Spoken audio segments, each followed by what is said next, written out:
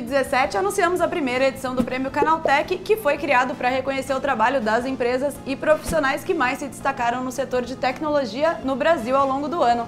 Com mais de 40 mil votantes e mais de um milhão de votos computados em 38 categorias diferentes, chegou a hora de saber quem vai levar o troféu para casa. E para comentar um pouquinho a respeito das categorias e dos vencedores, tenho aqui comigo o nosso querido Adriano Ponte. Olá a todos. André Fogaça. Olá. E o Wellington Arruda. Olá. Bom, vamos começar falando sobre aplicativos. Entre serviços de transporte, streaming, redes sociais e afins, não tivemos grandes surpresas. Todos os nomes vencedores são bem conhecidos do grande público: iFood, Uber, Itaú, Spotify, Mercado Livre, Trivago, Instagram e Avast. Já na parte de games, tem o um nome brasileiro entre os vencedores, viu? E aí, Adriano, o que, você achou do Galaxy of Pen and Paper sair como vencedor do game para smartphone? Olha, num ano que teve tanta coisa, principalmente no ano que teve PUBG, que foi uma grande explosão, Galaxy of Pen and Paper, para quem não conhece, é jogaço, RPG por turno, visual retrô, muitas referências e aquela capa brasileira sobre o jogo. Então foi uma, foi uma surpresa muito boa ter ganho Pen and Paper.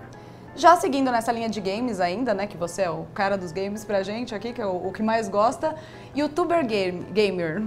Quem ganhou? Zangado. O que, que, você achou da vitória? Zangado. Bom, eu achei legal que o Zangado, para quem não conhece, é o gamer mascarado já tem bastante tempo aí e tudo mais fazendo vídeo de game e nos gameplays dele ele se mostra mais como um cara mais velho, que está interagindo com uma geração mais nova. Então ele é aquele gamer que está indo para nossa idade de virarmos tiozões e ele tá nessa pegada. E o último vídeo dele foi sobre Shadow of the Colossus Remake 4K, PS4 agora, nossa. Então, é, é nessa vibe.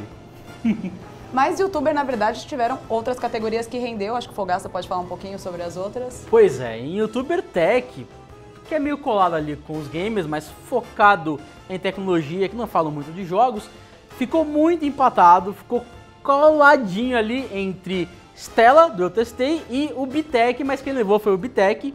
Ele acabou vencendo essa parada. E também em cinema, o Super 8 levou, e é bem bacana o Super 8, é bem diferente do que a gente está acostumado a ver, né? E ele se empenhou também na votação sim, lá, pediu sim. um voto para a galera e funcionou. Inclusive a galera vai poder ver o quanto foi disputado tudo isso, porque vocês que acessarem no Prêmio Canaltech para ver os resultados, tem o gráfico de quão foi doida essa disputa e para ver o gráfico você tem que estar na versão PC do site. Então você pode ativar pelo mobile ou preferencialmente ver pelo PC para enxergar melhor os gráficos bonitinhos ali. Os gráficos a gente só consegue ver no desktop, o resultado da votação está no mobile também, mas para ver todos os gráficos você consegue ver lá no desktop. Agora, saindo dessa área, indo para serviços, melhor assistência pós-venda foi a Apple que levou. Quer falar sobre isso, Wellington? Cara, o pior é que a Apple sempre foi elogiada pelo serviço pós-venda. E em 2017 ela também não mudou muita coisa, só que ela enfrentou um probleminha, né? Com a bateria dos iPhones mais antigos. Que o negócio começou a meio que ficar antiga a bateria e a Apple foi lá e cortou o desempenho desses iPhones. Só que aí, depois da pressão do público, pressão da mídia, de todo mundo, caras tiveram que cortar o preço para substituição de bateria. Então aqui no Brasil, quem for trocar a bateria do iPhone tem um desconto de 69%. Então, sei lá, bateria de 500 reais fica por 150 e coisas do tipo. Então, Bem legal. Valeu o prêmio. Foi justo, foi justo. Os caras meio que deram uma mancada ali no final do ano, mas deu tudo certo. Foi merecido, vai. E aproveitando que a gente está falando da Apple, ela também apareceu duas vezes entre as marcas mais desejadas de 2017 nas categorias laptop e smartphone com o iPhone se firmando como desejo de consumo entre a maioria dos votantes. Mas quem roubou a cena foi a Samsung, que além de ser a marca de TV mais desejada, ainda emplacou vários prêmios na categoria que todo mundo quer saber, né? A mobile.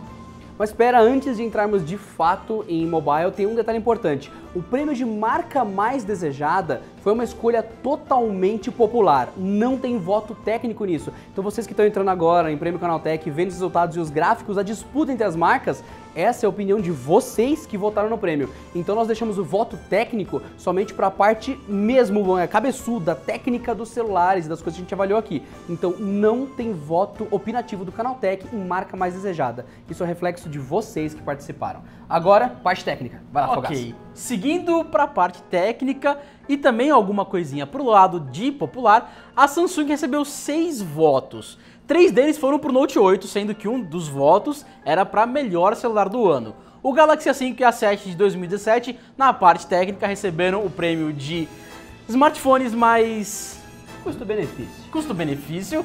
E o Gear S3 Frontier ganhou em smartwatch. É interessante notar também, Fogaça, que o A5 e o A7 ganharam no voto técnico, no júri técnico. O voto popular de vocês foi pro Moto G5S Plus, que é um modelo bem mais barato do que o Galaxy A5 e A7. menos, né? E na minha opinião, realmente merece esse prêmio de, de custo-benefício, porque de fato ele entrega um pouquinho mais por um valor mais baixo. Bom, galera, como vocês viram aqui, a gente só fez uma pincelada sobre o prêmio, mas você pode acessar o link com todos os resultados, percentuais e afins no site prêmio.canaltech.com.br e ficar de olho aqui na nossa programação que vai aparecer mais coisas sobre isso por aqui ainda, viu? Agora conta pra gente aqui nos comentários o que, que você achou dos resultados, gostou ou não, seu predileto ganhou e até o próximo vídeo. Beijo!